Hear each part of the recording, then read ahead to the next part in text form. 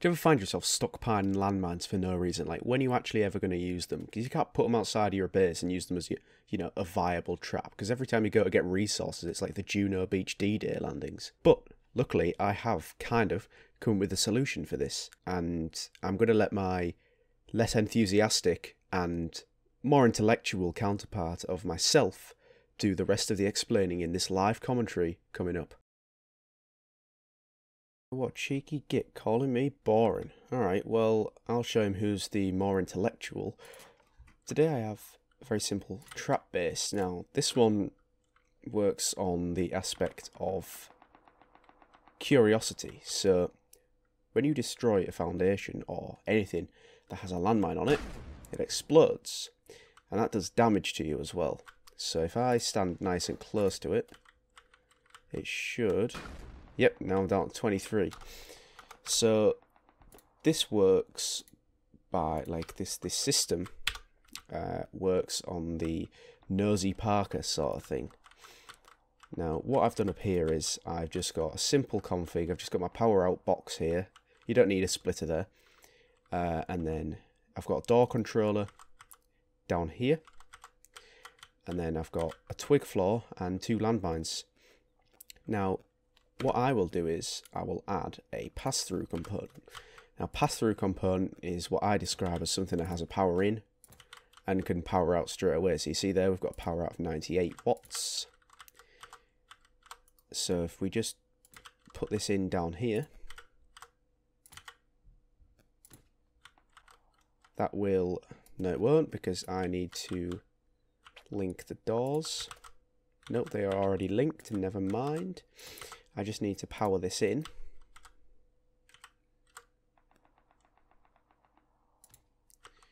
So if we just bring this up here, put him into the power out, and that'll open up the door, yes.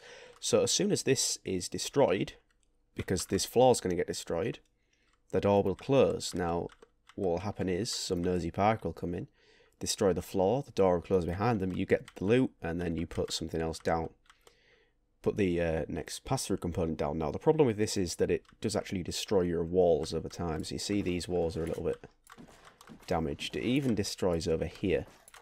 And you want to make sure that you keep your components far enough away. Am I going to walk on these? No. You want to make sure you keep your components far enough away so that they don't get destroyed by the landmine. So yeah, this is this is probably the most simple trap base uh, that you can collect loot from.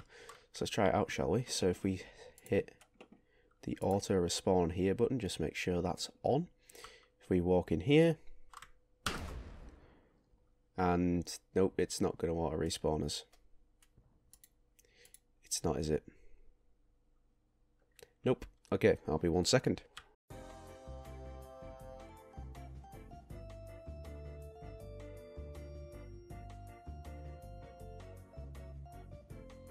Right, I'm back. So now we go in here, we see that this door is closed and my body isn't there because sandbox intoxicated public server. Uh, but the door is closed behind us and we are free to grab the loot and reset up the base and get rid of all those space taking up landmines.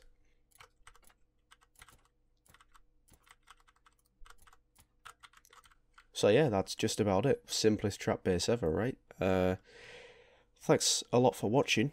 This was just a short little video. Um, I'm, I'm currently working on a few projects. I'm working on binary counter, binary counter decoder, and a calculator. Oh god, it's it's gonna be it's gonna be a good year for Rust, I think. Um, but yeah, I look forward to you watching the next videos, which will be a little more in-depth videos. I just need to get around to making them. All right. Um, yeah, have a good one. First take, get in. Oh, it's actually the sixth take. Whatever.